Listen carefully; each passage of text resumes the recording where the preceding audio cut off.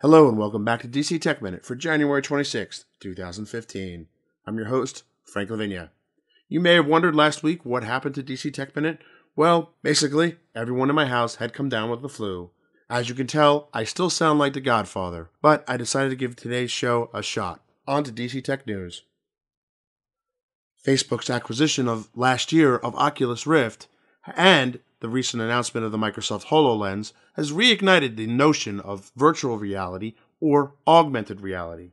Here's a DC startup, Agora VR, that uses the Oculus headset and its own software to enable virtual seminars.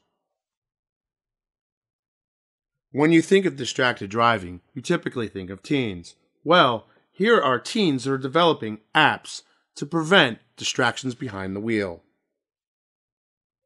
Microsoft Ventures is doing a roadshow around the country to share more about its mission, vision, and to get startups to apply for its second class, including a stop Wednesday in DC at 1776. Check out the link for more registration information.